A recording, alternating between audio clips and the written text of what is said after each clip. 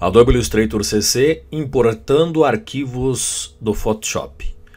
Olha só, quando você está fazendo um trabalho, desenvolvendo um trabalho aqui dentro do Illustrator e você precisa uh, utilizar um arquivo do Photoshop, um arquivo PSD, você pode importar para cá, assim como o CorelDRAW também aceita, tá? Então você pode vir aqui, vamos uh, inserir, place, já estou na pastinha que eu quero aqui e eu tenho aqui, ó, até fiz uma, eu fiz um, eu fiz um flyerzinho, mas eu fiz uh, para web, tá? Eu fiz só para Facebook, que está aqui, ó, Flyer Drone, ok? Então aqui está o PNG, aqui está o, P, aqui está o PSD, que é o arquivo nativo do Photoshop. Então eu vou inserir e eu vou dizer que eu quero que ele fique então proporcionalmente aqui dentro. Né? Se você clicar e soltar, ele vem com o tamanho original. Se eu clicar e arrastar, eu posso determinar o tamanho que ele vai ter. E soltei. Aqui está. Isso aqui é um, uma montagem que eu fiz para Facebook, tá? Do nosso da minha empresa aqui, de render, com só imagem de drone, beleza? Aqui está então. Uh, pode ver que aqui nesse momento ele não, não aparece as camadas, tá? Então eu vou mandar incorporar, porque ele está apenas como um link externo.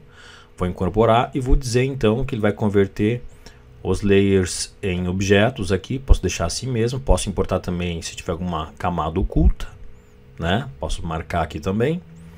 Já posso dar um show preview para dizer como é que vai ficar.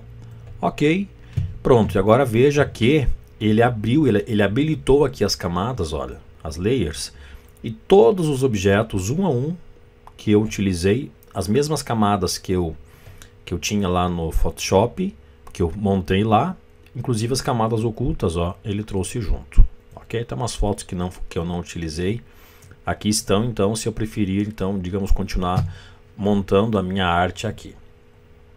Então, aqui está uma imagem do Photoshop, um arquivo PSD, que agora eu posso trabalhar, posso dar dois cliques aqui e pegar agora item separado, né? Porque ele vem, ele não é tipo assim, não vem agrupado, tá? Ele vem como se fosse um, um, como se fosse um símbolo aqui do, do, do Illustrator, né? Que você precisa dar dois cliques, entrar no modo de isolamento para você pegar apenas o item que você deseja trabalhar, né?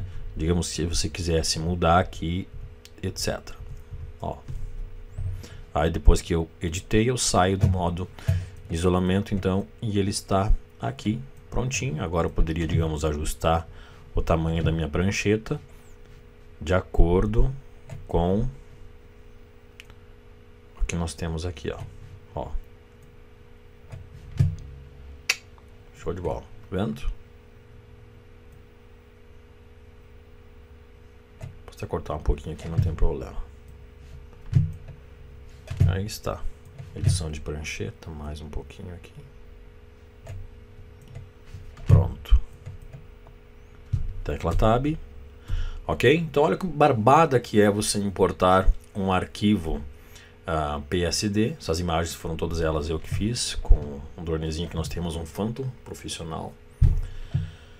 Uh, enfim, uh, tá? Para você ver então como é fácil você importar arquivos PSD, ok? Barbadinha, né? Isso aí então. Pratique. Vejo você agora no nosso próximo tutorial.